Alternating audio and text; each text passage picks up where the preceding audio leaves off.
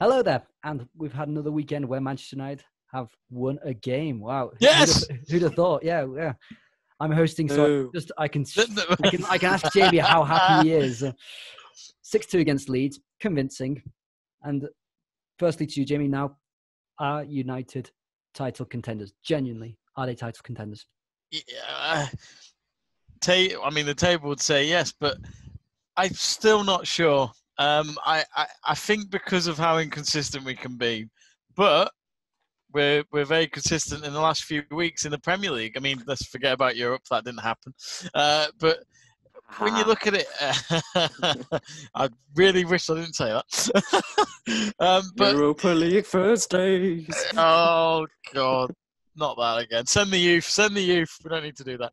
Uh, but looking at the Premier League, ah, it's I I get you know because when you beat it, I mean Leeds. I don't understand why Leeds got so much praise over that game. They lost six two. Um, they got battered, and yet they still talked about them saying, "Oh, they played really well." I'm thinking, hang on, they conceded six. Um, so come on, calm down. Um, but I, I think in terms of the in terms of the title, why not? Why not? I don't. I'm not that convinced yet because the problem I have with United is is our defence. Um, and I think if you really want to contend with the likes of Liverpool and Man City uh, for the league, you have to be consistent. You have to be clinical because that's what Liverpool and Man City standards have been in the last few years. Uh, rarely slip up in terms of points. They most of the time win their games. Um, even if they have a really bad day, they still get the win. But United's defence is what worries me. I, when you watch Lindelof and Maguire together on Sunday, there were still so many patches where you think, "Good God, thank God we're three or four goals up, boys. They could turn it, turn this around." Um, if Leeds had the had the quality to do it. So for me, I don't see why not. But it's one game at a time, and there's lots of games to go. As much as I'd love to get cocky and jump on that champagne bottle, So that yeah. we're for once actually contending. well, we're only 13 games in. Well, for United, 13 games in. and that's an going to- unlucky number sometimes. 26 to 13. Uh, I'm going to go to you, Joe. And I know we all know you're a Liverpool fan. So do you think Man United can run Liverpool to the end till April to May? Or is this, or is it unlikely? Let's just say. Well, I'm I'm going to be careful to not be uh, not say anything too dodgy, just in case it comes back to bite me, because we've been there before. Uh, I think Manchester United at the moment look like they could be in the title race. What is it? The five points behind Liverpool with a game in hand. To win that, two points behind. I think he came in hand against Burnley, Mhm. possibly. I think Yes, yes, it is. It is. So that's winnable, easily winnable for Manchester United. It's it's one of those. Uh, didn't see it coming at the start of the season. Still didn't see it coming. Now uh, you look at the table, you're like, mad, Man United could be two points off us uh, coming into you know New Year or whenever they play that that game in hand. I think I'd be interested to see how they manage when February comes around and European football starts again with the Thursday to Sunday schedule because that does take a lot out of the teams. But I wouldn't be surprised if Ole does a bit of rotating and plays quite a few of the youngsters, uh, like Jamie said in the WhatsApp group the, the other day. He would do personally, uh, play the youngsters in Europe and then obviously focus on the league. At the moment, you've got to say Manchester United could be title contenders. As a Liverpool fan, that pains me to say it because I'd like to see us uh, get number 20 uh, this season. Uh, what I said to Jamie the other day was 2009, uh, United beat Liverpool to the title by four points in what was a tight, what was the tightest uh, title race at the time, and levelled it up at 18 0. Wouldn't it be poetic if Liverpool in 2021 beat United to the title by X amount of points and made it 20 0? Uh, I was about We'll to see. mention now with Liverpool squad, we know the injuries. Fabinho's at centre back, etc., etc. We don't need to reiterate it too many times. But when you look at the bench of Bailly, Cavani, Greenwood, Henderson, Mata, Nat, uh, Matic, Pogba, Telles, and Van der Beek, surely as a Liverpool fan, I, I I know we can question Ole for whatever reason, and maybe Klopp's better manager and get get get it over the line because he's a better manager. But surely with that bench and the position they find themselves in, you've got to think that they are contenders. Would you would you agree on that fact that their squad depth actually now starts to look okay? Uh, yeah, it's a pretty solid bench, and the squad depth looks okay. Certain players aren't playing up to their standards, and you know my opinion on Paul Pogba. I think his Uh, he's been is playing well appalling. recently, though. That's the thing. He's been. Yeah, because he's after up. a yeah, move. but, yeah, It's- yeah, it's exactly, because he's after a move. Yeah, yeah, but- exactly. Whenever the transfer window comes around, he starts playing all right for a couple of games. Say he comes to the end of January, nobody's brought him, he'll drop back off again because that's what Paul Pogba does. It, He doesn't really, he doesn't care about the club. He doesn't care about the fans to, to a certain degree. He all he cares about is lining his pocket full of money and getting what he wants. He doesn't really care at the end of the day. He's a mercenary. And but enough on Paul Pogba. Uh, As regards to Manchester United you've got a decent second choice goalkeeper in Dean Henderson who probably could potentially push De Gea in years to come. And if you believe James Burgoyne is the best goalkeeper in the world, uh, Well, against Sheffield United, he didn't prove a lot, did he? And again, he's not. He's not really done it for me this season yet because errors and errors. But that's a different matter. I, I want to Bailly, on. Bailly's a solid defender as well. I'd take him in the Liverpool squad as that- one I of was our going get to choices. that. Yeah, Bailly is Yeah, also. He see, should be a starter in some teams. I think Tuanzebe should be starting. I mean, I, I, I was I was watching the game the other day, and I keep I, I keep saying to myself, Lindelof for me needs to prove a point. Um, and I don't, I'm not seeing it. Lindelof makes a lot Well, of mistakes, scores. I think. Well, yeah, of course he did. But look at that. I mean, I'm sorry, Leeds are crap.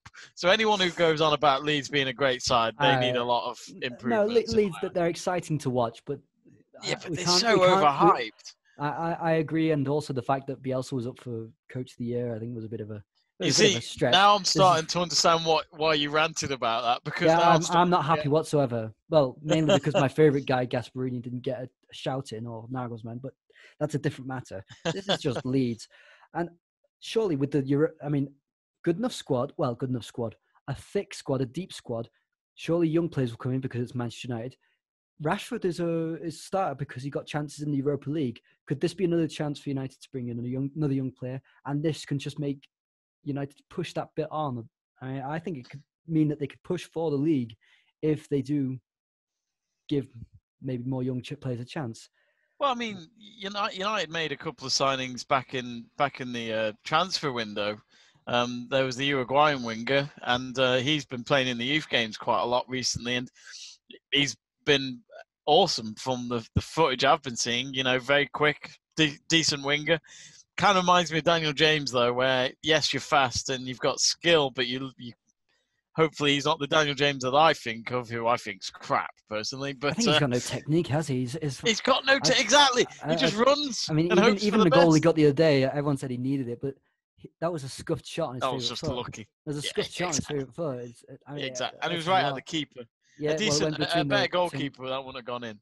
But I think, That, that's a harsh. I think Meslier is very underrated this season. He has saved Leeds so much. but I do, um, but I, but I do think, you know, there's the Uruguayan, and there's one that we're getting from Atalanta, who's Mhm. 18, and he should be coming in January. So More, Europa League is perfect for that, isn't it? It's it's more players, more depth. But at some point, it becomes a nightmare for someone like Solskjaer because I still think about the whole Van der Beek transfer and think if Pogba does go, you know, maybe this whole Van der Beek transfer was actually a lot better than it looks because maybe he will get more game time. I don't know. It, I don't know if Joe saw it last night, but on Monday Night Football, Gary Neville said the player to watch out for next year is Paul Pogba, and it's like, oh, here we go again, Gary, let it go. But he seems to still have reasons to faith. be watching out for him, aren't there? I mean, There is. I can is see just- I why mean, he if We're talking just on an entertainment factor. That, that who knows? I mean, Paul's always providing entertainment, isn't he? Yeah, I was going to mention also the if we take um how much how many points Manchester United are on track to get. So, for instance, they've they've got 26 points at the moment after 13 games. That means that at the end of the season, if all continues in the same fashion, they'll be on 76 points. If they're on 76 points and they win the title, hypothetically, that would be the second lowest amount of points to win a title. Below Leicester, it would be Manchester United in 96 97, who got 75 points that season. So, Mm. no matter what, this is looking like for an, this is starting to look like a very low scoring season. Even relegation. I mean, look look at Sheffield United. They've got two points, and that's a record at the bottom of the table. I'm Yeah. wondering where this. So this also probably means that the fight for the Champions League will be a lot tighter than usual. We look now even at the table, and you've got Tottenham who are um, who are sixth, one point off fourth.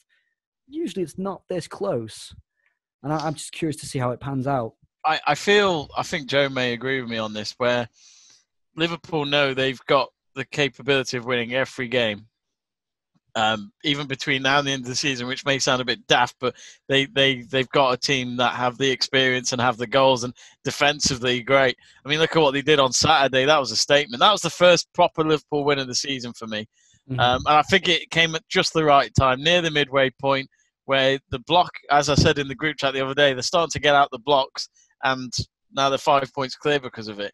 Goal difference would have helped them big time as well, the seven 0 um, and I and I just think for for United Liverpool, when you mentioned the lowest points to win the league and all that, Seb, all those daft, stupid facts. Uh, no, I'm only joking. I love you, Seb. I love you. But what I would say is that I think for United, they would like to win it like that, where Liverpool would be like, no, go full out, full on out, and try and play till the end of the season like this. But the injuries could kill Liverpool um, and set them back a bit. But you know, Klopp is known to adapt um, over the last five or six years, and he's I'm sure he'll do it again. So Liverpool, in my eyes, are still the favourites, but you know, bring it on. United Liverpool title race. You know, everyone goes on about this rivalry, but we haven't had a proper rivalry in years. In years, you know, we don't even play each other in Europe, so it's like just little things like that. We don't really have that. We have a rivalry, but it's not like we want it to be. So you see hard to play each other in Europe, Jamie, when we're in the Champions League. Oh, here we go. I've got to dig it. I've had that for years. I've had that do you see anyone I've else? had that for years. Do you see anyone else pushing Joe apart? I mean, if we're talking Manchester United, Liverpool look like they're starting to get that into into gear. Do you see any other team pushing Liverpool close? Because I think Liverpool now are running away with it. Do you see another team apart from Man United who we've mentioned? You Couple see another weeks. team putting putting them under pressure? Sorry, uh, a couple of weeks ago I would have said Tottenham, but they seem to have just faltered a little bit. Whether that's just a blip and they'll get back into their their role again, I'm not sure. Um, I still wouldn't fully rule out Chelsea. I know they've got a little bit of inconsistency, They look and good, Chelsea. But when they're on it, they're on it, and they're going to be a force to reckon with. They're definitely top four this season. Uh, I still wouldn't 100% rule out Manchester City. Still wouldn't 100% rule it out because if they get on one of their runs, it's unstoppable. Best But defense in the league, Man City. that the, the thing with Manchester City is that everyone's saying that they're on a rebuilding stage, which I can sort of see. But even with that, they've still got the quality in their squad to push Liverpool because they I were think- in, in said building stage last season. I think I think Man City, if they get top four, it's a good season for them. I know Mm. that seem, may seem a bit daft, but what's up front for them? I don't see the threat. about. Yeah, but I don't. I feel like it is a build again for Man City, where Pep has signed the extension, so he's clearly ready for it. Um, and I wouldn't be surprised if that's his plan now to just obviously keep improving this team as much as he can. But people like Gabriel Jesus get out, get on the boat, head off somewhere else because it because it doesn't work. He can't play for Man City. He's not good enough. He reminds me of Anthony Martial. Has a big name, but doesn't really do it for me. Uh, I'd agree. I think Jesus is not good enough to lead a Manchester a team that's pushing for the title. I just don't think so. No. So, what are your opinions? Who do you think will push Liverpool close? Is it going to be Manchester United, Manchester City, maybe Tottenham? Let us know. Like, comment, and subscribe as usual, and we'll see you in the next video.